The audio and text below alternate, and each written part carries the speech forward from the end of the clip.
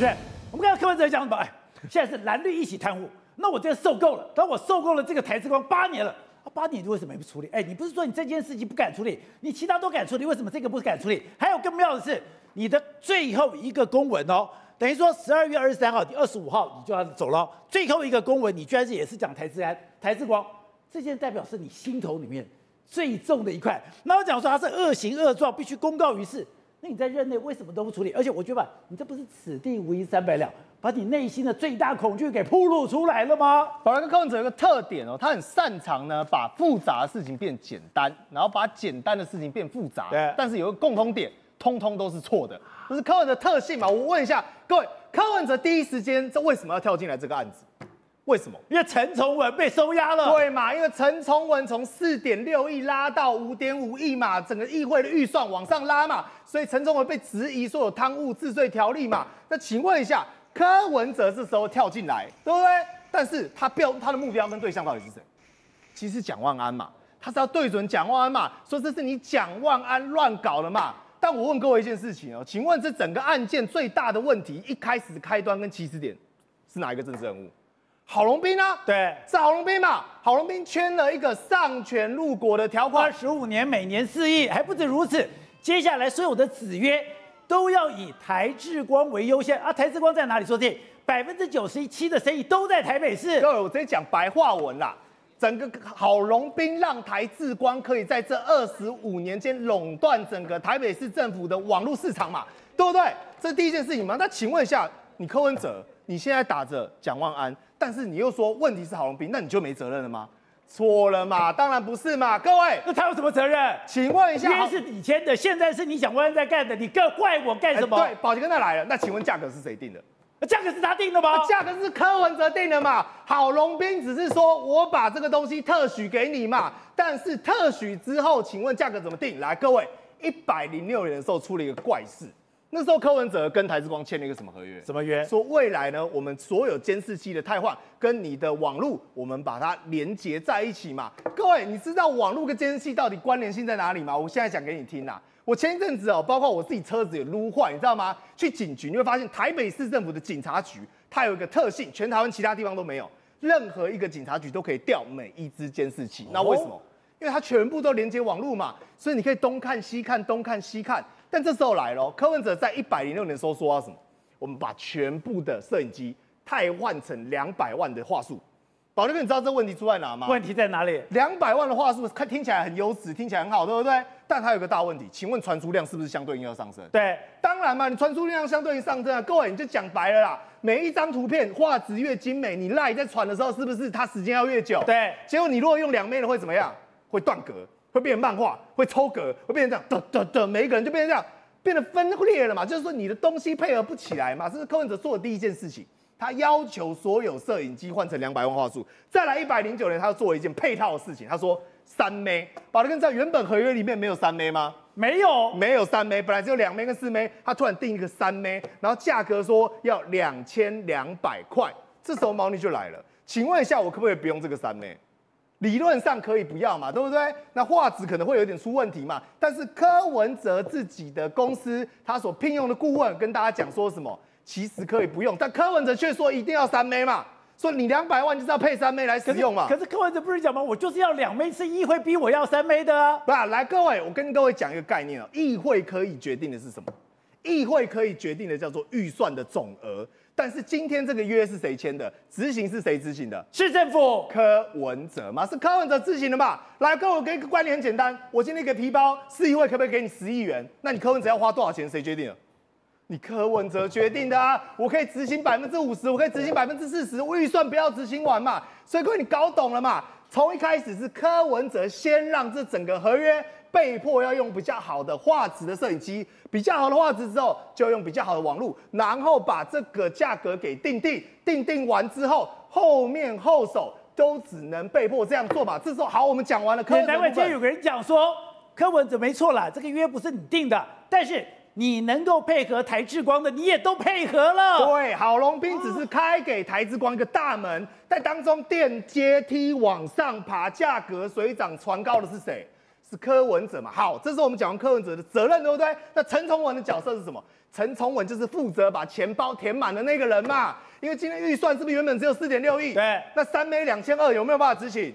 没办法，不够钱嘛。所以陈崇文把预算拉到五点五亿，是不是就可以照旧执行了？可以，对嘛？每个人扮演的角色是这样嘛。好，这时候都讲完了。那请问柯文哲？所以难怪今天问说，你有没有跟陈崇文吃过饭？你吃饭的时候有没有讨论台之光的案子？你是真的哎，陈崇文一路的杀到底，还是？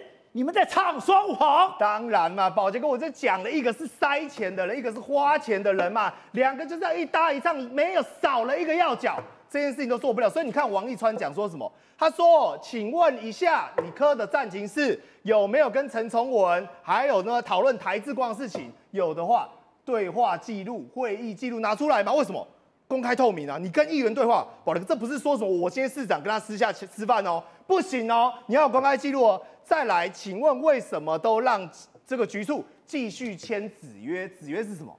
两千两百块的价格啊！宝德哥我跟你讲啦，今天哦，如果这个价格签一百二十块，你就会不会有意见呐？不会有意见，对嘛？所以你柯文哲签价格是里面最大的猫腻嘛？好，那我们讲完了。你表面上我跟台视光对抗，表面上你这个所谓的我搞复议，可事实上你做的所有的动作。都在便宜人家，对吗？那我再问一件事情，好，好深哦。柯文哲是不是有五大弊案，对不对？对。今天吴一轩跑出来讲说，哎呀，你蒋万安如果觉得这个东西有问题的话，你应该废止啊，而且你应该揭弊吧，对不对？市值不要偷两次。那我问一件事情就好了，你柯文哲五大弊案有哪一个办成？没有半个半成，那请问这个是不是弊案？是弊案，这是一个大弊案，它可以成为你唯一成功的大弊案。而你柯文哲也早就注意到这个合约怪怪的，而且郝龙斌的合约是从二零一二年就签到了，但为什么这八年完全闷不吭声，反而配着他继续照干？不要再跟我扯议会，议会只能提供给你钱，议会能够唯一制裁你的方式只有什么？我把你预算删减嘛。他有删减你预算吗？没有，还把预算往上高哎！你怎么会？哎，我好委屈哦，因为人家给我一堆钱，然后害我还要花钱，我好委屈，我只能忍辱负重。还说蓝绿对吧？蓝绿共同贪污，妈的功效威啦！重点是你柯文哲自己在里面好，但是我要讲完了，柯文哲这个时候为什么没有人 Q 他，要跳出来杀蒋万安，要跳出来把焦点为什么转移到蒋万身上？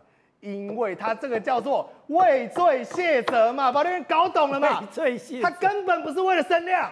各位，各位报告，根本不是为了声量，他很清楚一件事情：如果现在陈崇文被压了，包括为什么这个公文他要留在陈崇文被压是关键，对吗？他知道说为什么公文放在这边，接下来会不会找到我头上？各位，你搞懂了吗？根本不是什么镁光灯，他急着要把整个锅甩到蒋万安身上，泼屎泼尿，把抹黑的东西先往上泼，反正呢就不关我的事，我要赶快现实。因为各位，你别忘了，哦柯文哲他有一个很特性，他是什么？他是全政坛里面最胆小的政治人物嘛？遇到事情他闪第一名嘛，都跟我没关系嘛。但是你错了，为什么？因为今天不管你是有人说听黄珊珊的也好，做什么也好，你把这个事情往蒋万身上裹的时候，你忘了蓝跟白还有另外一个人在谁旁边？绿，民进党嘛。所以现在民进党假这么大，你绝对让你吃不完兜着走，准备跟陈崇文当兄弟。好，所以各位，你长期也在公部门待过，是这个东西刚才讲的，他今天出露出马脚了。他最害怕的事情，居然把那个公文丢出来，公文丢出来反而是露馅了。对，你知道以前我们的政务官哦，从来不会有人说要把公文带回家的。那如果要公文带回家的，一定会出事的。也就是说，要出事要自保，所以先把东西留在手上，哪一天看这个风向不对的时候，把它丢出来，为了证明自己的清白。对，今天看起来柯文哲的确是紧张了，自保是害怕了。平常来讲，我们看到柯文哲是想要博声量，不是吗？想要对媒体哎，希望讲一些话。对，结果今天不是啊，今天他一直在甩甩锅，不是，一直在太妙了，我觉得太妙。你要离开，我们讲十二月二十五号是你的最后一天。你在十二月二十三号的几乎在凌晨的时候丢出这个公文，丢这个公文的时候，马上去撇清你跟这个所谓的台智光的这个所谓的关系。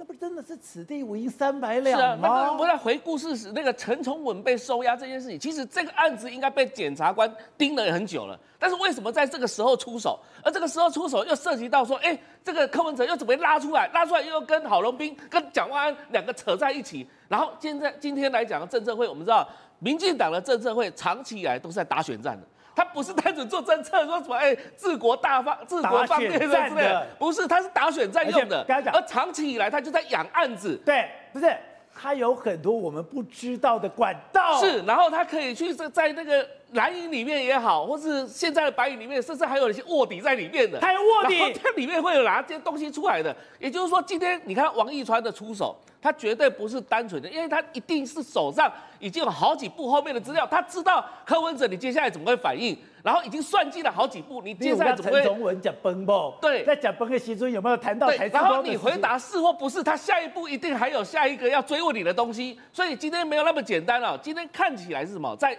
赖清德的五二零之前，看起来有一一个手在这边动了，然后这个手在动的情况下。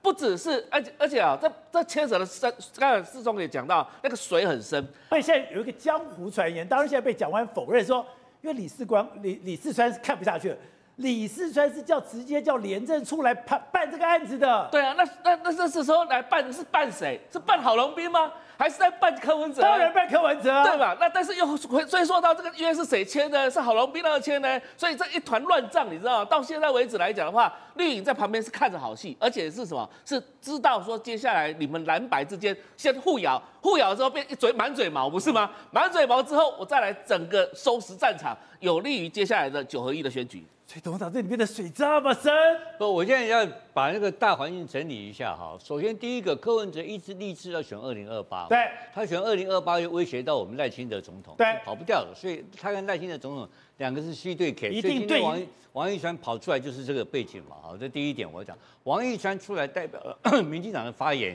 就是他们这个基础的这个结构型的这个冲突哦，所以他们的关系是要打柯文哲，的没有，办法的事情，一定要打柯文哲了哈，这是结构。然后柯文哲自己本身又不干净嘛，哈，那个第二点，柯文哲的问题在哪里呢？你什么公文不带回家？你怎么足足把你我不知道还带哪些了哈，但是马上第一时间看到人家收押，他马上把他这个公文丢出来他干嘛？是自保嘛，就是自保的事情了哈。这这第二点，我就讲柯文哲的问题了。那柯文哲大致上，我们现在讲，其实他柯文哲如果有跟厂商之间有金钱往来的话，那这个事情贪污治罪条例成立了。那今天陈崇文这个东西已经被收押了嘛？对，你以为陈崇文收押这个事情是偶然吗？当然不是啊偶然嘛，对不对？他只是打了个电话，是光一个打电话就收押吗？当然不是嘛。所以我刚刚讲了一个很简单的道理，第一个，这个邱这个这个朱立伦家族为什么退出？我现在听到现在结果，我怀疑了，朱立伦家族的退出是在柯文哲的淫威之下退出。那个时间点，刚刚宇轩讲要定价钱嘛，他说你你现在朱立伦在，我就不愿意给你朱立伦嘛。所以他说蓝绿本身有搞头嘛，所以蓝绿绿的是谁？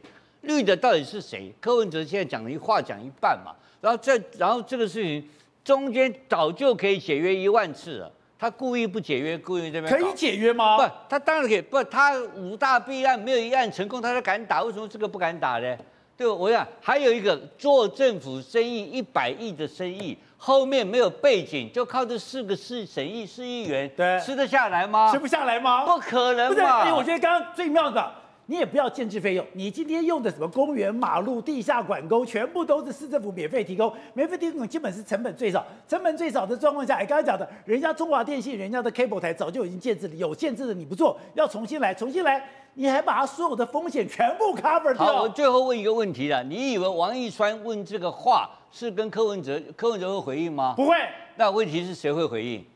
检察官会回应，检察官会问问问陈崇文，你跟他什么时候吃过饭？陈崇文第一天现在要干嘛？你知道吧？要当污点证人啊！他也怕是怕陈崇文当污点证人啊。陈崇文八年跟他合作的过程当中，他只要把柯文哲咬出来这个事情，咬到黄珊珊，咬到彭振生这种咖，他就当污点啊，他就他就脱身啊。这也太可怕了吧？本来就是这样子，是不？我是司法警察检察官办案，我第一个找就找污点嘛，因为贪污贪污犯啊，没有污点，没有内线的话，你抓不到的，因为他有金流的问题，他有时间的问题，他有公务，他有这个公文的流向问题，他很多故事没有留下痕迹嘛，对。对，所以这个时候我觉得最大的突破，王义川不是在跟柯文哲喊话，是跟检承办的检察官喊话，他表示手上有都，他在喊话的同时。东西也不断的往地检那边丢进去了嘛，所以陈崇文在被侦讯情况之下，最后一定会出卖柯文哲嘛，因为所有蒋万安讲那句话对的啊，他说我们已经找了一个礼拜了，目前没有找到留存下来的书面记录哎，啊刚，好，其实你现在都是公文建档，你现在所有的档案其实都很好找，你怎么可能说，哎，我只要 key 几个关键字，档案在哪里都知道了？我怎么可？而且这个恐怖在哪里，你知道吗？